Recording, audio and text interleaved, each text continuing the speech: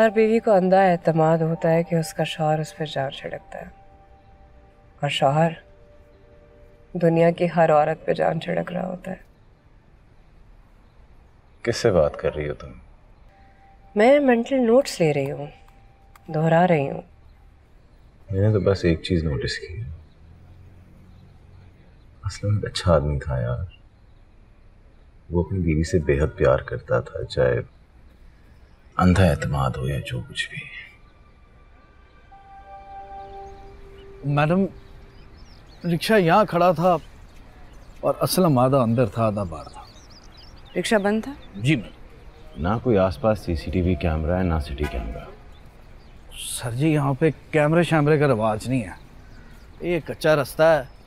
वो सर एक दुकान है फूलों वाली। कुछ दुकानें उधर हैं। उन दुकानदारों से पूछ गिछ की?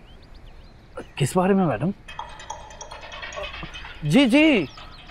जी जी मैंने मैंने पूछा था। किसी को कुछ नहीं पता मैडम।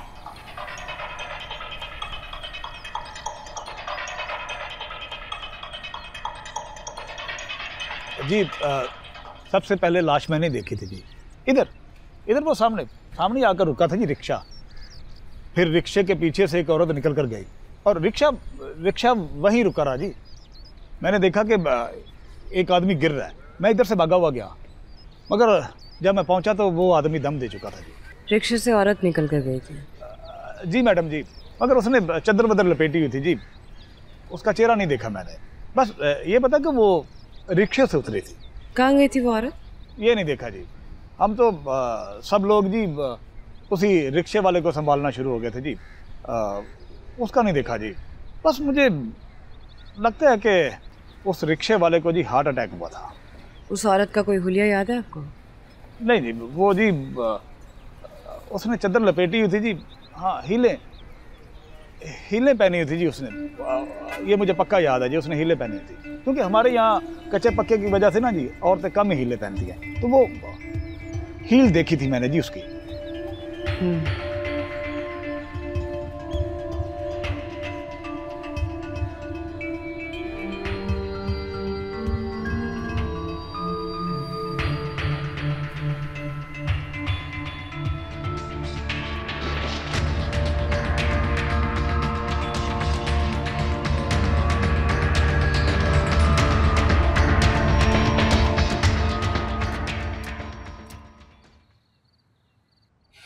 हमारी टीम वहाँ से लेके आई है।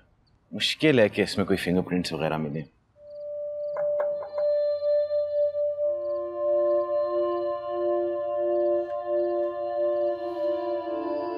ये औरत जो बतूल है इस रिक्शे को बार बार इस्तेमाल करती है। उसके फिंगरप्रिंट्स होंगे इसमें और भी बहुत से लोगों के होंगे। लेकिन एक फिंगरप्रिंट इसका भी होगा। फिंगरप्रिंट्स चाहिए मुझे। जी मैडम असम के कत्ल की ज़िम्मेदारी तभी ठहराई जा सकती है जब हमारे पास सोडियम साइनाइड के अलावा भी कोई सबूत हो और वो इसके फिंगरप्रिंट्स वरना ये कत्ल बतूल के खाते में नहीं डाला जा सकता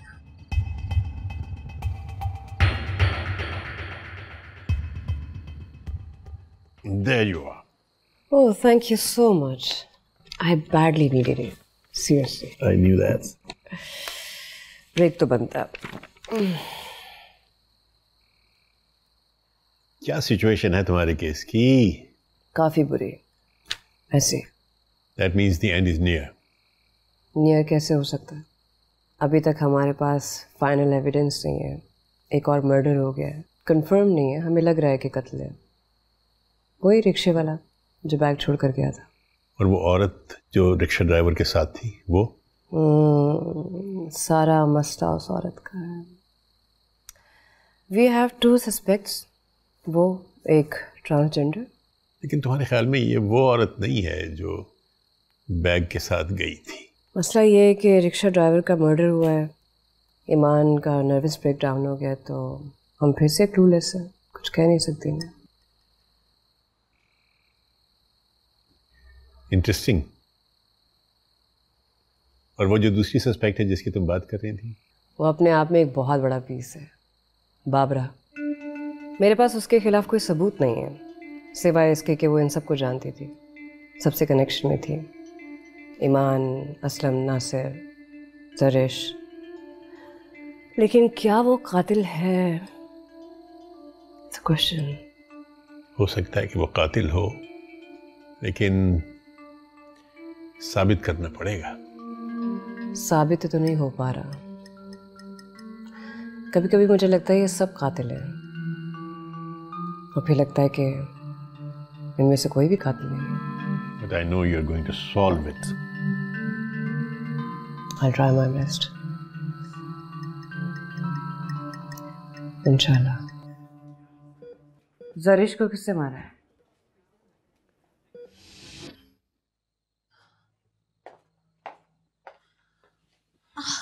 थक गए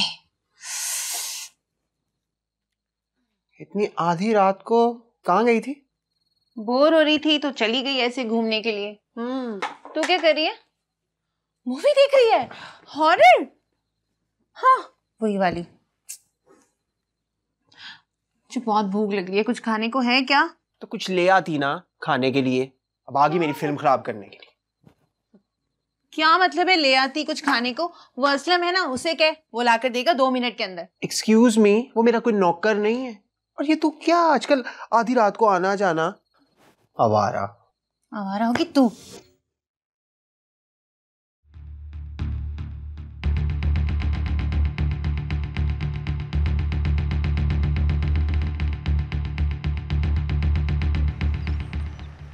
सारी दुनिया ने तुझे और तेरा रिक्शा बेशक ना पहचाना हो मैंने पहली नज़र में ही पहचान लिया। देख मुझे बता दे। वो तू ही था ना? नहीं मैं नहीं था वो। मेरे साथ झूठ ना बोल। मैं तुझे सिर्फ़ इसलिए पूछ रही हूँ कि अगर वो तू ही था तो मैं तेरे साथ खड़ी हूँ। तूने जरिश को अगर मारा है तो कुछ सोच समझ के ही मारा होगा। एक तू मुझे बता दे। मैं कुछ तो करूँ ना तेरे लिए। क्या करेगी तू है? क्या करेगी? जो मेरे बस में होगा मैं करूँगी। तू मुझे बस बता दे वो तू ही था ना।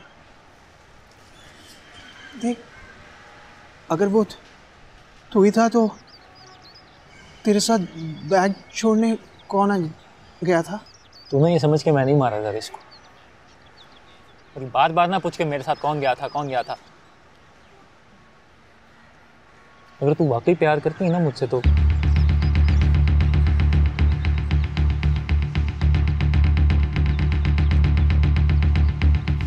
बस उसके बाद तुम्हारी और असलम की जरिश के बारे में कोई बात नहीं हुई हम्म और वो जूते और चादर अलीना के थे हाँ जी टीवी पे देखा था तो पहचान ही नहीं पाई वरना जब पुलिस ने छापा मारा था तो मुझे याद नहीं रहा कि ये इसके जूते और शाल है। और जब याद आया तो समझ ही नहीं लगी कि असलम और अलीना का ताल्लुक क्या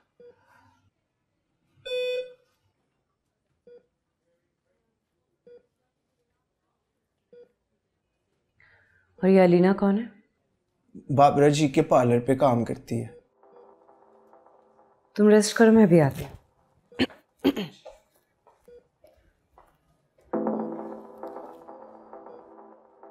देखिए सीरियल किलर बुध और जुमेरात रात 9 बजे। सिर्फ़ ग्रीन एंटरटेनमेंट पर। ज़िंदगी बर्बाद करने जा रही हूँ अपनी। कसूर मेरा है। मैं तुम्हारी लव स्टोरी की विलन नहीं आपसे जुदाई उसकी रिहाई है। इश्क है नेमत रब की है रहमत हो नसीब सबको ये मुमकिन तुम टूटे हुए रिश्ते जोड़ना चाहते हो लेकिन पहले दिल जोड़े जाते हैं। देखिए पागल खाना पीर से जुमेरात रात 9 बजे। सिर्फ़ ग्रीन एंटरटेनमेंट पर।